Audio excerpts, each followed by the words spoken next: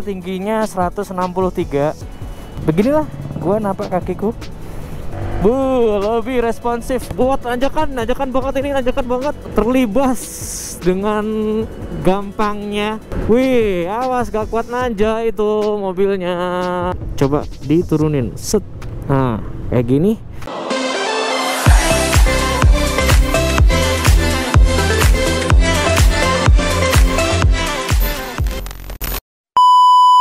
Halo guys, assalamualaikum warahmatullahi wabarakatuh. Selamat pagi.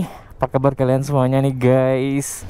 Nah ini dia akhirnya di depan mata juga cuy Honda ADV 160 ABS punya ya cuy. Nah kali ini gue bareng sama teman-teman AHM Bali. Jadi uh, ini first impression gue nyobain ini motor Honda ADV 160 guys. Uh, ini mengingatkanku pada CDV dulu gue punya ADV 150 guys. Dan sekarang ada ADV 160 buh. Ayo ayo ayo. First impressionnya seperti apa? Uh, seperti ini guys. Kayak flashback aja kayak punya gue yang dulu ya. Tapi ini lebih oke okay, lebih nice lah. Oh bentar.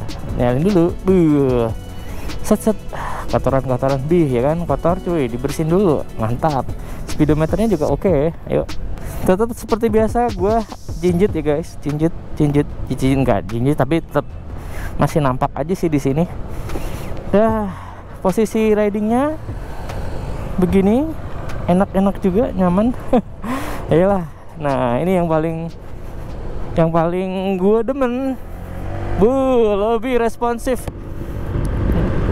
Tanjakan libas. Oh langsung wih emang enak wih guys. Tampilnya beda ya. Lebih nyanyut nyanyut. Nah, 160 guys. Oke oke oke oke oke. Coba melewati teman-teman semuanya. Uh, asik. Ini tanjakan tanjakan tanjakan. Tanjakan curam. Enggak begitu curam sih cuma uh.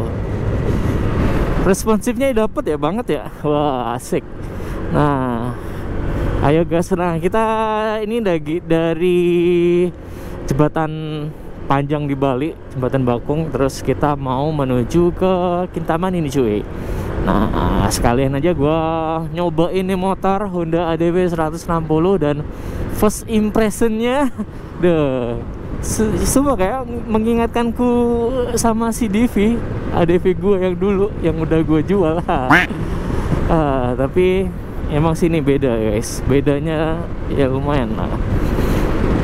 Lebih buat tarikannya torsinya lebih oke. Okay, lebih dapat lebih maknyut cut cut asik. Untuk posisi ridingnya juga uh, lebih enakan sekarang sih emang sih. Joknya lebih agak tinggi. Kalau ada gue yang dulu emang uh, buat joknya itu emang gua ini sih guys. Apa gue papas gitu gue pendekin lagi biar kaki gue nampak kiri kanan ya kan? Soalnya ADV 150 kan agak tinggi tuh. Tapi ini udah uh, emang bawahnya udah agak pendek sih kayak jadi buat kaki kayak gini be, bisa lagi gini be, juga masuk asik. Aduh. Oh, dan by the way di pegunungan kayak gini guys, udaranya tuh udah lumayan. Gue pakai hoodie doang, udah lumayan ber dingin ya. Nah untungnya nih windshieldnya juga tinggi ya. Jadi uh, ini mode mode touring berkendara yang lebih biar menghempas angin gitu guys. Jadi nggak terlalu langsung kena ke dada ya. Uh, tapi kalau nanti kalau di perkotaan panas-panas kayak gitu tuh macet-macetan gitu windshieldnya cocok nih turunin cuy. Kalau buat pegunungan gini uh, dinaikin aja biar nggak langsung ke dada. Jadi kalau agak ngebut kayak gini set zet kenanya langsung ke di sini sih anginnya bus kerasa banget. Nah itu dah. Uh, yo yo woi. Uh, emang ini guys windshieldnya tuh PNP banget sama yang lama. Jadi apalagi kalau mau modif uh, yang after aftermarket tuh kan banyak banget tuh udahan tuh.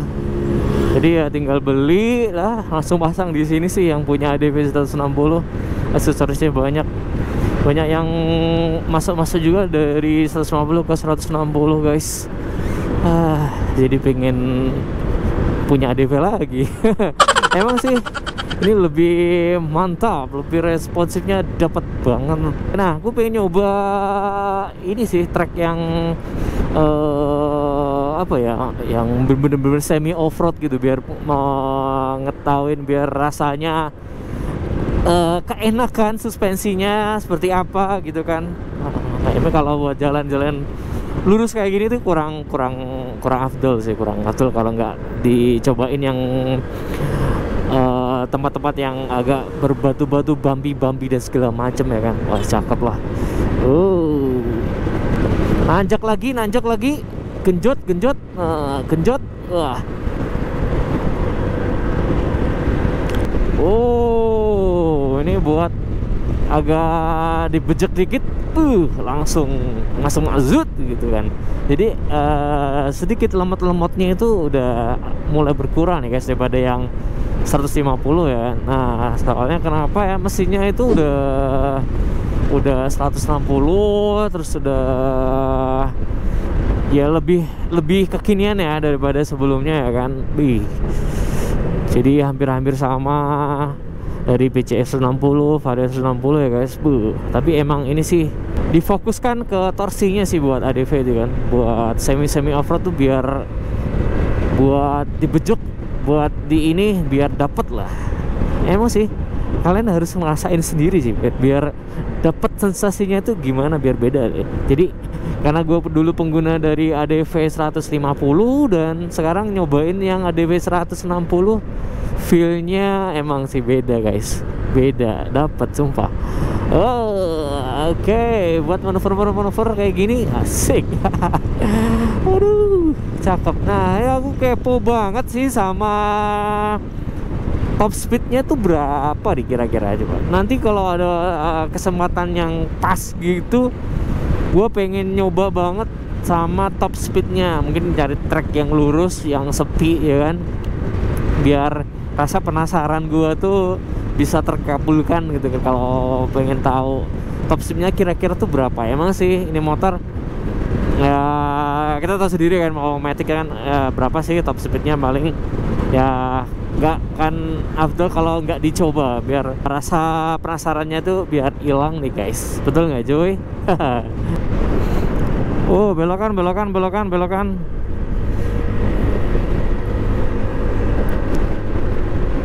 Nah, keseruan kita juga riding bareng sama AHM itu kayak gini guys. Jadi, uh, ruame cuman uh, kita campur si motornya. Awas, awas, awas, awas, awas, awas, awas. Ada mobil hati-hati guys, hati-hati. Jadi kebanyakan Aduh, buh, berasa tuh. Wah, berasa pas banget ada lubang tadi gede banget. Aduh, mak jegaguk Tapi depan sih oke, masih suspensi depan tuh empuk ya cuma yang belakang tadi emang keras dibuat agak keras sih biar ini ah, ayo ayo ayo, ayo. Wih. Nah ini motornya sih kita campur-campur ya guys. Jadi uh, Jadi gantian-gantian Kalau mau merasa ngerasain nih motor Udah DB 160 Nah Banyak kan sih PCX PCX Vario 160 PCX 160 ya.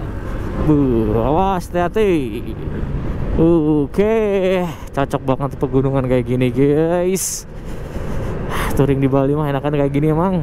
Bu, awas awas. Nah ini motor buat manuver-manuver menyalip menyalip dari kanan, dari kanan perlahan-perlahan. Awas hati-hati di jalannya agak nggak bagus, nggak bagus. Tetap fokus, but set set set. Wis, depan tikungan tajam, hati-hati, hati-hati, hati-hati, hati-hati. Yuk, yuk, yuk, yuk, hati-hati. Tuh kan ada mobil, wis. Set, set, set, set. Buat nanjakan, nanjakan banget ini, nanjakan banget. Uh, terlibas dengan gampangnya buat nanjakan. Wah, emang sih feelnya tuh beda ya. Beda, cakep guys.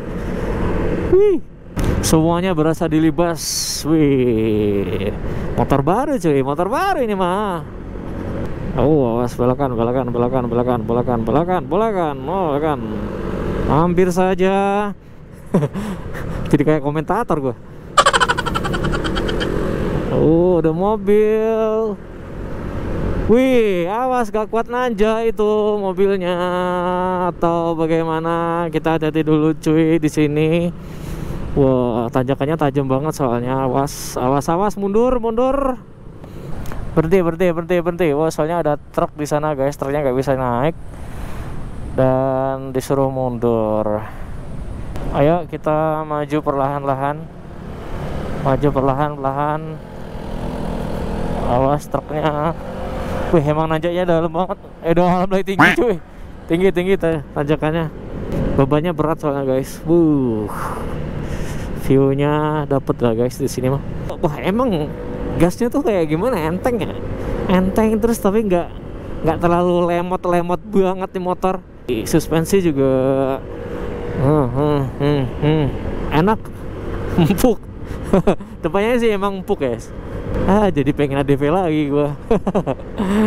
Tapi kalau ngomong-ngomong nih kalau biasanya teman-teman kan uh, eh, gue dulu pernah punya ADV 150 terus ini sekarang muncul ADV 160 nah worth it nggak sih gitu? Kalau seandainya kalian mau upgrade gini ke 60 ini gitu kan. Awas lubang-lubang. Oh, oh boy rasanya cuy. Masih enak sih. Nah worth it gak sih gitu Nah emang sih kalau gue lihat ke perubahannya sih nggak signifikan nggak terlalu banyak. Cuma beberapa part-part aja ya kan? Ya kalau uh, teman-teman uh, masalah duit sih nggak apa-apa nggak gampang banyak banget. Ya nggak apa-apa sih guys. Langsung upgrade aja sih kalau menurut gua ya. Cuman kalau kalian budgetnya menipis pas-pasan dan nggak terlalu pengen-pengen banget gitu nggak usah nggak usah di upgrade juga apa apa sih guys. Atau mending kalian nanti nungguin ADV 250 gitu kan. Semua kan otomatis juga bakal akan launching di Indonesia kan. Tapi kita kan juga belum tahu kapan ya kan. Nah itu mungkin bisa diperhitungkan nih biar kayak uh, Forza Forza 250 gitu kan. Kan lu oke. Okay. woi bolongan joy rasanya dapat enak banget. Set Wah langsung menikung dari samping set. Ah, lucu banget nah itu sih. Nah sepertinya gitu dah. Sedikit ocehan gua. Uh, kalau gua pribadi sih maksudnya itu. Kalau seandainya nanti keluar yang 250 gitu kan. Otomatis kalau di masuk ke Indonesia kan 250 ya. Bukan yang 350 ya. ADV 250 buh. Tampaknya lebih keker yang lebih berisi nah gue juga pengen banget itu motor ya. Kalau bagi yang belum punya ADV terus pengen motor yang semi off road nah ini bisa dipinang nih ADV 160 deh. Tapi kalau yang udah pernah ngerasain 150 ya langsung aja loncat ke 250 begitu guys. Ya masukkan aja sih. Ya se semuanya kembali ke kalian masing-masing. Uh, wih udah dingin aja guys di sini di Kintamani bu. So jadi first impression gue guys pakai ini motor Honda DV 160 emang enak. Enaknya sih dapat ya. Nah yang gue paling gue suka tuh tarikannya ya torsinya tuh dia maknyus gitu. Maksudnya nggak terlalu lemot gitu kan. Emang sih mesinnya baru terus 160 ya lebih oke okay daripada yang lama. Tapi wih responsif banget nih guys buat manuver-manuver gini kiri kanan kiri Wih, hati-hati, hati-hati. Depan ada mobil, cuy. Oke, oke, oke, oke, oke, oke. Jadi nggak bisa ngambut ini, guys. Maklum, maklum. Di Kintaman ini sudah ramai Bali bangkit ini, guys. Uh, awas, berhenti dulu. Set, set, set, set, set, set. Nah, ngomong-ngomong seperti sini. Nah, ini coba diturunin. Set nah kayak gini biar gue bisa merasakan terpaan angin. Jadi emang harus berhenti ya pakai harus pakai dua tangan sih guys. Tuh rame banget guys. Wisatawan wisatawan. Bis-bis di mana-mana. Oke buat manuver. Uh, uh viewnya. Buat speeding. Nah gue kepo banget sama ini ya nanti top speednya berapa gitu kan uh buat manuver emang enak. Enak. Suspensinya juga empuk. Oke. Okay. nah ini teman-teman kalau mau mau Minang juga harus kerasain dulu dah. Tes rat aja dulu cuy. Biar bisa rasain feelnya. Oke eh. oke agak kebut agak kebut. Oh, kebut. Bu tanjakan tanjakan. Set bu. Buat nyelinap nyelinap. Kiri kanan kiri kanan. Oh aku duluan duluan. Set. Oh masuk. Pak Eko. Kita berdiri sini guys. Zut zut zut zut zut ini udah teman-teman udah pada ngumpul di sini. Tadi gue ketinggalan soalnya. Oke. Okay. parkirin aja dulu. Ah feelnya tuh dapat banget. Dari gua dulu pengguna ini nih ADV 150 dan sekarang ADV 160 cuy. Buh, rasanya emang beda sih. Nah ini cuy gua tingginya 163 163 ya terus beginilah gua napak kakiku. Cuma ya kalau yang ini kan dulu agak tinggi ya. Jadi gue pendekin ini masih lah masih nampak lah tapi udah masih oke okay lah ya masih oke. Okay. terus rojoran kakinya segini segini. Kayak gini bisa uh mantap lah sih. Beuh. keren keren. Nah nah biasanya teman-teman tuh yang pengen ditanyain posisi pembonceng nih kalau digonceng di sini tuh enak gak ini joknya masih berasa ya empuknya. Ini kalau ini agak ini agak keras tapi ya ini empuk sih. Ah, kalau duduk di sini coba nih uh, biar tahu aja sah. Oke aku naik dulu ya. Uh, uh. nah. Masih empuk juga. Enak ya. Nah empuk sih. Buat ininya jok belakangnya juga tebel. Ini yang merah ini masih masih persisi nggak? Masih lama nggak joknya ada perubahan nggak? Masih ori ya? Oke okay, thank you. Nah jadi teman-teman yang mau ngerasain joknya ini empuk deh guys. Yang lama juga ini agak tapi masih empukan itu sih. Uh, ini. Ini lebih tebel. Oke okay, cuy. Nah gitu dah first impresi gue mengenai Honda ADV 160 emang perbedaannya sih nggak banyak sama yang lama ya. Cuman ini sih dari segi fairingnya nih. Kelihatan banget kalau ini 160 cuma kalau yang black ini kayak gini sekilas itu kayak hampir sama ya. Nah tapi kembali ke kalian semua. Kalau yang belum punya ADV bisa dipinang ini. Kalau yang udah punya ADV mungkin bisa nunggu yang 100 eh 150 ya biar feelnya dapat lebih oke. Okay. wah oke okay, guys. Gitu aja vlog gua kali ini thank you buat teman-teman yang sudah nonton. Jangan lupa supportnya cuy. Dan tonton juga video gua lainnya. Bye bye assalamualaikum warahmatullahi wabarakatuh. Peace. Wih. Kau